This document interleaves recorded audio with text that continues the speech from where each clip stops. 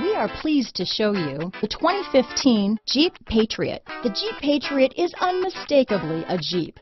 It looks like a cross between a Jeep Liberty and Jeep Compass, or maybe a three-quarter scale version of the big Jeep Commander. The Patriot has plenty of room inside for any size family.